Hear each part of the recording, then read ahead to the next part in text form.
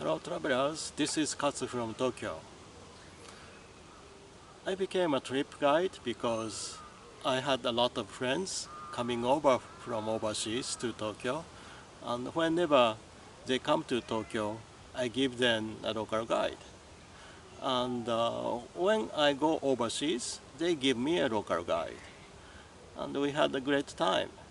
So I thought it's a good idea uh, to become a trip guide. So if you don't know anyone in Tokyo, I can be your friend.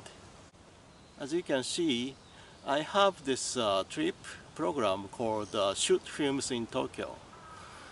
This one I developed with uh, trip clients who came over and I happened to have a film camera in my hand. So I tried if they like the film camera and uh, they just love it so much because uh, pictures that comes out was simply amazing.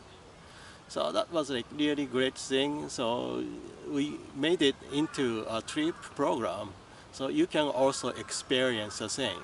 The best moment i had with other trip client was when we went to mount fuji with uh, wine in our our hand at around 4 or 5, uh, we were watching the sunset with Mount Fuji in the background drinking wine. Yeah, we had a really good time.